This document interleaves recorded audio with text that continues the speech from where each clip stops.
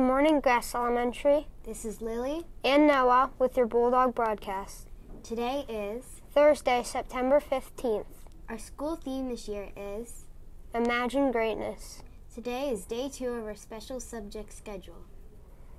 Happy birthday to the following students Bradley Norton. Brantley, Brantley Norton. Brantley, we hope you have a great day.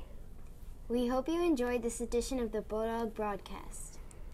We show our best cares behavior in the classrooms, in the bistro, on the playground, on the bus, and at home. Let us all do our part to make this a cares kind of day, because a Bulldog always cares. Have a great Cares Day, Grass Elementary, because at JM Grass, we imagine greatness.